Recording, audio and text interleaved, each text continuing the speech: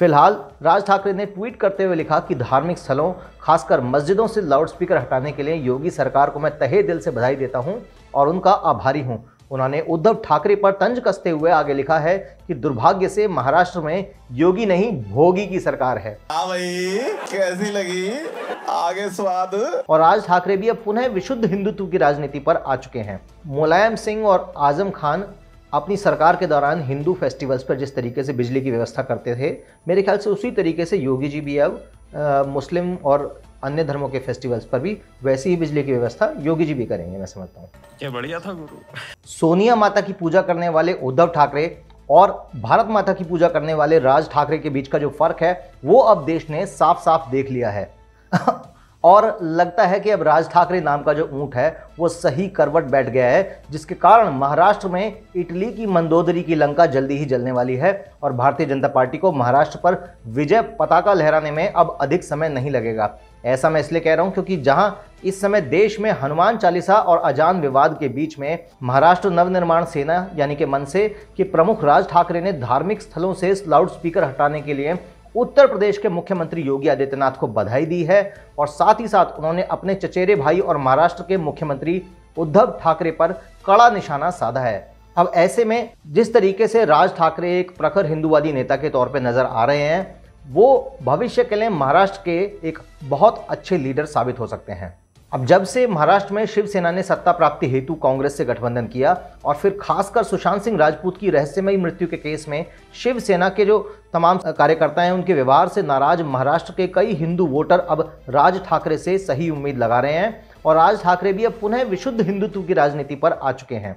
ऐसे में यदि राज ठाकरे भारतीय जनता पार्टी का साथ दें और अपने संगठन महाराष्ट्र नवनिर्माण सेना को बेहतर मैनेजमेंट और ट्रेनिंग प्रदान कर दें और अच्छे प्रवक्ता रखकर यदि रूटीन लेवल पर न्यूज़ चैनल्स की डिबेट्स में भाग लें तो आने वाले वक्त में महाराष्ट्र की राजनीति में सबसे बड़े पदों में से एक पर राज ठाकरे आसीन हो सकते हैं। इसके लिए यदि उन्हें मेरी मैनेजमेंट कंसल्टिंग की भी आवश्यकता हो तो मैं मुफ़्त में मैनेजमेंट कंसल्टिंग उनको प्रदान कर सकता हूँ। फ़िलहाल, राज ठाकरे ने ट्वीट करते हुए लिखा कि धार्मिक स्थलों, खासकर मस्जिदों से लाउडस्पीकर हटाने के लिए योगी सरकार को मैं तहे दिल से बधाई देता हूँ और उनका आभारी हूँ। उन्होंने उद्धव ठाकरे पर तंज कसते हुए आगे लिखा है कि दुर्भाग्य से महाराष्ट्र में योगी नहीं, भोगी की सरकार है। आपको बता दें कि उत्तर प्रदेश में धार्मिक स्थलों पर लगे करीब ग्यारह हज़ार अवैध लाउडस्पीकर उतारे गए हैं।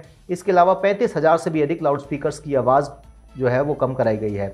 अब अपर एडीजी कानून व्यवस्था प्रशांत कुमार ने यह बताया कि ये कार्रवाई हाई कोर्ट के 2018 के आदेश का अनुपालन कराए जाने के लिए शासन के निर्देश पर करी गई है। अब इस अभियान के तहत अभी तक चालीस हज़ार से भी ज़्यादा बैठकें धर्मगुरुओं और धर्मस्थलों की समितियों पर साथ साथ थाना लेवल पर भी करी गई हैं। तो आप समझ सकते हैं कि किस तरीके से इस समय उत्तर प्रदेश में जो है एक तुष्टिकरण की राजनीति का अब गला घोटा जा रहा है। साथ ही साथ एक सही मायने में जिसे सबका साथ, सबका विकास की बात कहते हैं और सभी लोगों के लिए समान अधिकार मतलब एक व्यक्ति तो ज़ोर ज़ोर से लाउड स्पीकर बजा रहा है, वहीं दूसरी ओर दूसरा जो है उसके बच्चे पढ़ाई लिखाई नहीं कर पा रहे हैं तो कहीं ना कहीं हमें कानून का एक बैलेंस बनाना बहुत आवश्यक है। अब ऐसे में राज ठाकरे का खुलकर योगी जी को सपोर्ट करना, ये दिखाता है कि अब राज ठाकरे भी योगी जी के, बाबा जी के भक्त हो चुके हैं, और ये अपने आप में बहुत अच्छी खबर है।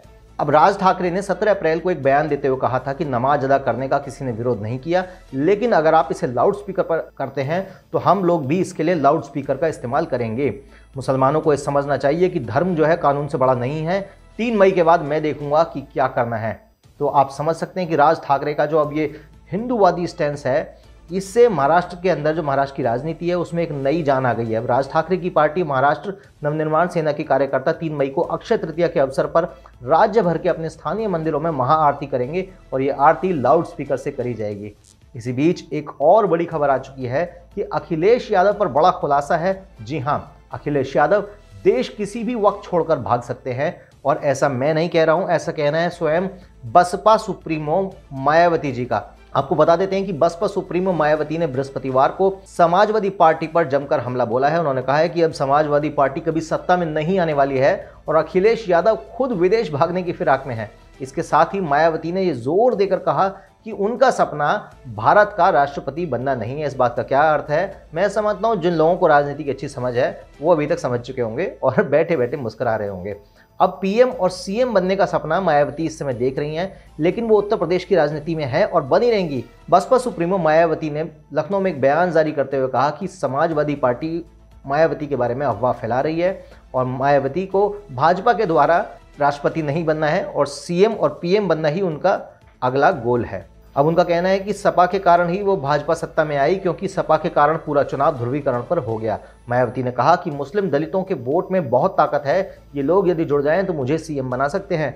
मायावती ने कहा कि प्रदेश का मुसलमान समाजवादी पार्टी से बेहद नाराज़ है। ऐसे में वो अखिलेश के साथ जुड़ने वाला नहीं है। उन्होंने कहा कि उन्होंने एक पत्र लिखकर अपने राष्ट्रीय महासचिव सतीश चंद्र मिश्रा और विधानमंडल दल के नेता उमाशंकर सिंह को मुख्यमंत्री के पास भेजा है, जिसमें स्मारकों की बदहाली का मामला उठाया गया है।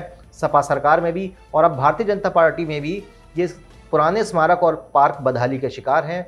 वर्तमान सरकार का ध्यान आकर्षित करने के लिए ये प्रतिनिधिमंडल सीएम योगी जी से मिलने गया। अब मायावती ने कहा कि रमज़ान के महीने में बिजली कटौती हो रही है, जो कि ठीक नहीं है। योगी सरकार को इस बारे में व्यवस्था करनी चाहिए। योगी जी भी कुछ वैसी व्यवस्था करेंगे, जिस तरीके से मुलायम सिंह और आज़म खान अपनी सरकार के दौरान हिंदू फेस्टिवल्स पर जिस तरीके से बिजली की व्यवस्था करते थे, मेरे ख्याल से उसी तरीके से योगी जी भी अब मुस्लिम और अन्य धर्मों के फेस्टिवल्स पर भी वैसी ही बिजली की व्यवस्था योगी जी भी करेंगे, मैं समझता हूँ। इसी बीच एक और बड़ी खबर आ रही है कि आज ही कोरोना के बढ़ते मामलों के बीच मुख्यमंत्री योगी आदित्यनाथ ने कहा कि इमरजेंसी कोविड रिलीफ पैकेज के रूप में मिली धनराशि से प्रदेश में हेल्थ इंफ्रास्ट्रक्चर को बेहतर बनाने का प्रयास किया जा रहा है। सीएचसी स्तर के अस्पतालों में बेडों की संख्या 30 से 50 और पीएचसी में 4 से 10 करी जा रही है। अस्पताल की अन्य सुविधाओं में भी विस्तार किया जा रहा है। वो बुधवार को प्रधानमंत्री नरेंद्र मोदी की वीडियो कॉन्फ्रेंसिंग के ज़रिए हो रहे मुख्यमंत्रियों के संवाद के दौरान संबोधित कर रहे थे। मुख्यमंत्री योगी जी ने कहा कि प्रधानमंत्री के ट्रैक, टेस्ट, ट्रीट और टीकाकरण की नीति के सफल क्रियान्वयन से प्रदेश में कोविड महामारी पर प्रभावी नियंत्रण बना हुआ है। वर्तमान में प्रदेश में कोरोना के तेरह एक्टिव केसेस हैं। इसमें से गाजियाबाद में दो सौ गौतम बुद्ध नगर में छः सौ सत्तानवे। वहीं महज 19 संक्रमित जो लोग हैं, वो अस्पताल में भर्ती हैं। ये पहले से ही विभिन्न बीमारियों से पीड़ित हैं। प्रदेश सरकार इनके स्वास्थ्य पर लगातार नज़र बनाकर रख रही है और उन्होंने कहा कि गौतम बुद्ध नगर और गाजियाबाद में कोविड संक्रमण के मामले में वृद्धि के मद्देनज़र इन दोनों जिलों के साथ ही लखनऊ में फेस मास्क लगाना अनिवार्य कर दिया गया है। अन्य जिलों में स्थिति फ़िलहाल सामान्य है। मुख्यमंत्री ने कहा कि सरकार भविष्य की चुनौतियों के मद्देनज़र सभी ज़रूरी इंतज़ाम भी कर रही है। प्रदेश में 508 ऑक्सीजन प्लांट चल रहे हैं। बयालीस हज़ार से अधिक ऑक्सीजन कॉन्सेंट्रेटर उपलब्ध हैं। उन्होंने ये भी कहा कि कोविड की चुनौतियों के बीच प्रदेश के राजस्व में लगभग 25 प्रतिशत और निर्यात में 30 प्रतिशत की वृद्धि हुई है, जो कि अपने आप में एक काफ़ी कंसिडरेबल अचीवमेंट है।